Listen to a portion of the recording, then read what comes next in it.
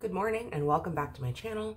This is going to be a very specific reading vlog. I did a blind date with your TBR video at the beginning or middle of February and I pulled a book and it was not a great time for me. I'm really fucking lost. I don't know what's happening. Already not giving me vibes of like going to be super enjoyable right now. I don't know. I don't know who, I don't understand. I'm so stressed out by this book. There's too much happening for me to enjoy this right now. I'm gonna DNF it. This was a book gifted to me by somebody. So the book is The Fifth Season by N.K. Jemisin, and I'm hoping that this vlog is just the beginning of my love of their writing. Let me backtrack a little bit to how I acquired this book, why I have this book, and who recommended me this book. So I want to say like late 2020, Sage actually had a mention either on their Twitter or just like messaged us in group chat and was like, hey, would anybody be interested in like swapping books with me and like it'd be like a swap recommendation. I was like, of course. So me and Sage like swapped recommendations and like sent the book to each other, except I was a trash human being and only like messaged Sage when it arrived and I didn't do anything after that. Whereas Sage and Sarah did videos for each other. And then I think they did it again. And I was like, I'm a piece of shit. This is a very like well-known author name in the sci-fi community, in the booktube community. And I know Sage loved this book. I think this is supposed to be a bit apocalyptic because if people are living on a connected continent and it splits, that can only mean like end of days kind of shit. It does say that it's called like the Great Red Rift across the heart of the world's sole continent and it spews ash that blots out the sun, death and betrayal and murder and then it says, um, this is the stillness, which I could think is the name of the actual continent. Power of the earth is wielded as a weapon and there is no mercy. So I'm assuming that maybe there are just elemental powers or maybe the character that has split the continent. Maybe they're the, the only person with power. I'm not sure. It was all super unclear. I tried to listen to it as an audiobook because I was like, you know, I'm really great at audiobooks. I can listen on two times speed.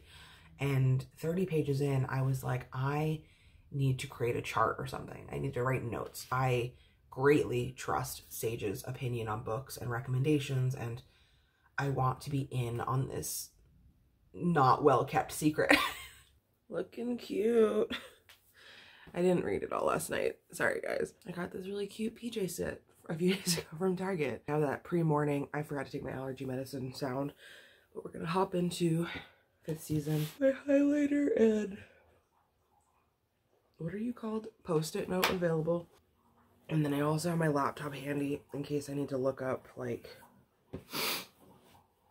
the map and maybe like, I don't want to spoil anything, but I might pull up like a character uh, appendix so that I have a reference. I, hmm, I also have my headphones ready and available so that when I do get more comfortable with it, I can pull up the audiobook. Good morning to me. Good morning to my allergies. Good morning to my coffee being done right now.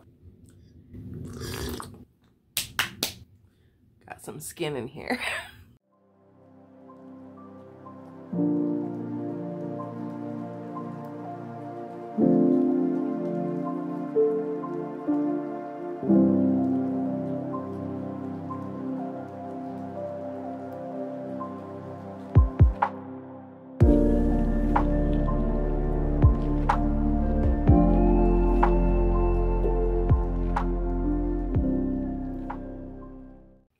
say I'm on page three, progress, and already I can tell that this book is not meant for audiobook for me. Audiobook for me is like easy listening. So I find that I'm not able to give my full attention to a book if it is an audiobook and it has like too much world building. I tend to steer more toward audiobooks for romance or for like lighter fiction, mysteries, thrillers. Um, granted, these might not be considered light reading in written format. I'm so much more invested and I'm I'm excited. I'm really excited. Um this is a great angle, Angel. This is great. Um I'm treating it like a sacred text, like the sacred text that it is because Sage bought this for me. and I love and appreciate them. And my thoughts so far are it's kind of a funny story so far. Like no, the the author writes it in a funny way. So there are moments where like I think this is what threw me last time is that you get this heavy description of this initial city at the first few pages in the prologue. And then the little section ends and it says none of these places or people matter by the way. I simply point them out for context. And there I'm just like, "Wait." um I'm also to say I maybe I'm just thirsty, but I have like a strange attraction to this guy up on a hill that they're talking about that literally split the the continent in half.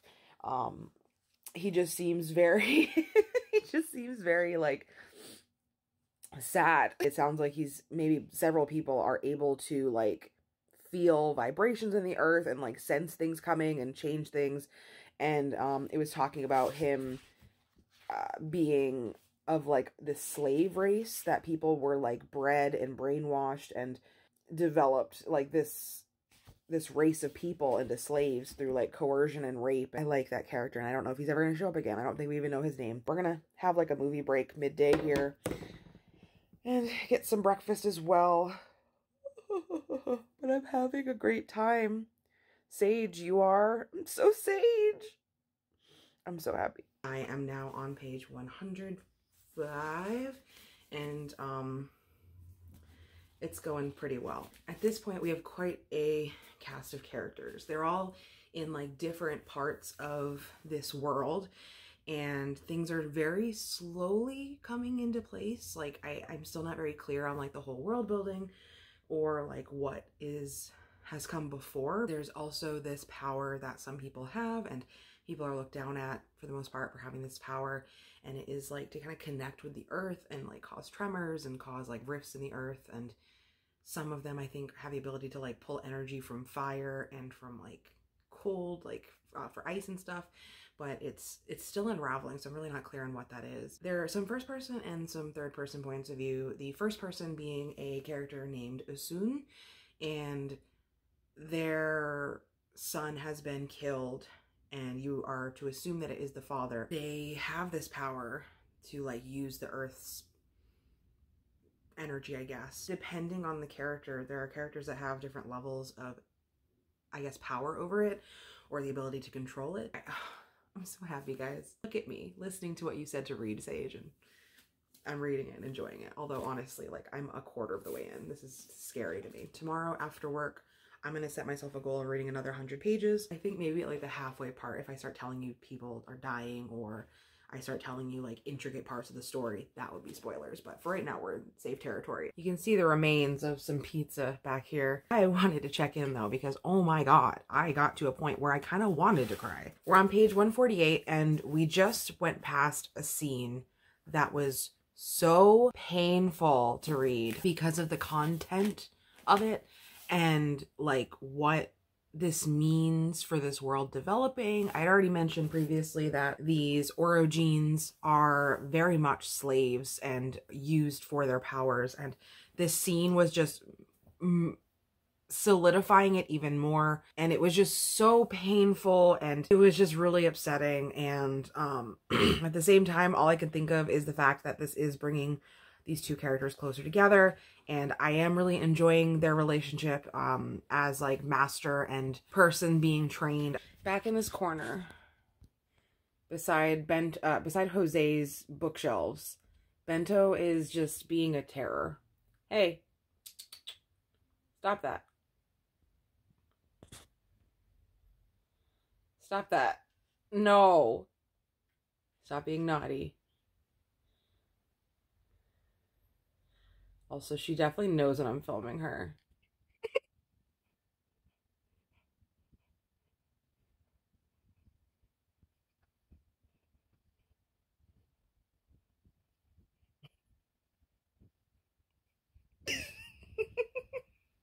Terrified. Get the no. Oh. Ow! Don't bite me. You won. I don't know what else to say. It's hard to like speak to it without spoiling things because I want to just tell you every single little subplot going on. I will say there's another character that has been introduced somewhat recently who is very mysterious. There's a young boy who we don't know like anything about. Things are developing that I was not anticipating. I don't know. I just, I'm really liking marking up this book. And I, I like saying this, but unless something go dra goes drastically wrong, I don't anticipate giving this book anything less than five. Ow, Bento is eating me. Excuse me. No. Now, like, I know that the, the next one, next books are The Obelisk Gate and The Stone Sky. Like, The Obelisk Gate, I, I have a feeling I might know what that's referring, I know what it's referring to, but I also am like, oh, the other part is that, like, there are these moments where they talk about, like, Dead Civ, which is, like, the previous civilizations that came before this fifth season round. Nobody knows who put them there and nobody knows who created them and why they're there. They're literally from like a previous civilization. We've had some more success. I'm now on page 212. I think I might not do another little update until we get to like another big plot point. Although I feel like we're we're almost halfway through and I feel like everything is a big plot point. Like everything is developing. We're back to seeing this one girl who was like bought by a child buyer who was actually a guardian to take her to the fulcrum, which is a place where they train these orogenes, orogenes to use their powers. There was an interesting line in a different section about how they're like gods that are chained um, and used however other people see fit by the by the government more or less. I'm just heading home now and I'm gonna do some reading sprints on the channel. It's the first time I've ever done them on my channel and I am going to try to catch up on the next 100 pages. You're seeing a bit more into the world of the Orogenes and how they function, how their power works. Pretty much the same way that I felt in reading escaping Exodus because I felt like I was finally starting to get the puzzle pieces, but there's still so much mystery left. It's just fascinating and beautifully written. And I know that this is a trilogy, and so I'm actually really excited for the rest of the books because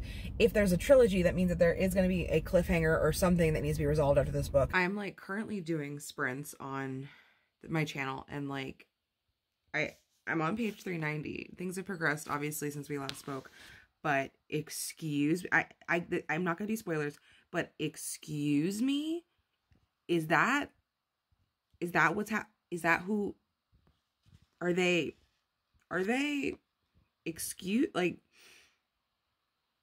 if you own a copy and you've read this book, go to that page, go to these pages and tell me, am I right? Are they like the are is it all This is the weirdest part of this vlog, but I'm like overwhelmed. I started like frantically writing on post-its because I'm like, is that, are you, is that this, I, I can't say. Okay. I, uh, I also have been live streaming this for like four and a half hours, so I might be like breaking from reality, but I'm, what? What? So we're in the final countdown. I'm on page 412. Right before I went to bed last night, I finished up like the pages I needed to finish yesterday.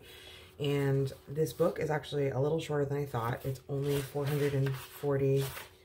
449 pages. I'm going to read a little bit in between meetings today because it's a very, very busy day.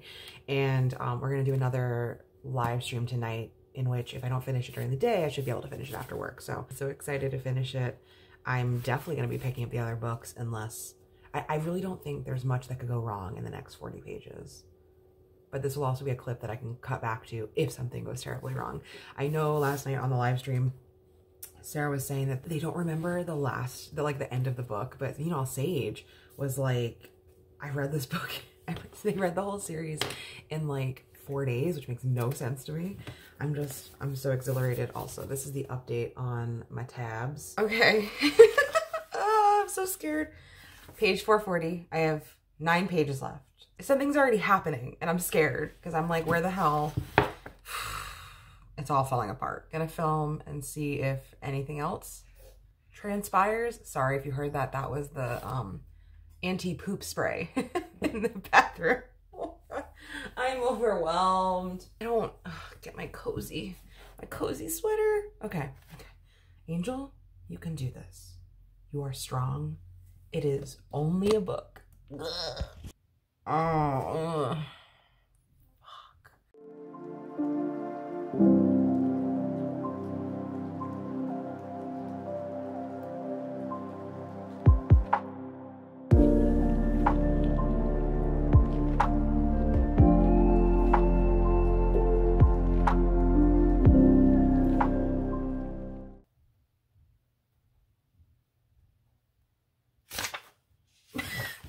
This is like kind of funny. Okay. It's done. And all I have to say is like, oh boy, is this written to be a sequel. Like that was like the biggest cliffhanger. And I was trying not to cry because I thought something was going to happen and then it just didn't happen because they're like, psych, you got to read the next book.